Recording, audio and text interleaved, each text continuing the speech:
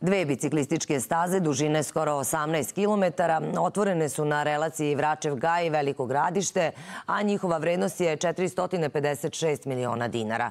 Prva staza povezuje Vračev gaj i Staru Palanku, dok druga spaja Tvrđavu Rami i Srebrno jezero kod Velikog gradišta. Nalaze se na panevropskom putu Eurovelo 6 i Eurovelo 13, a resorni ministar najavio je da do kraja avgusta otvaranje i treće staze.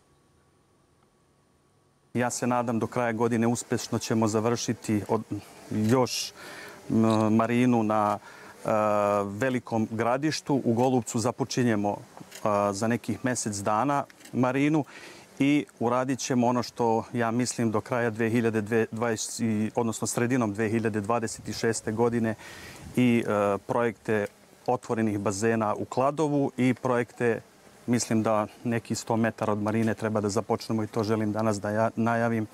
Otvorene e, projekte na izgradnji otvorenih bazena u blizini Srebrnog jezera.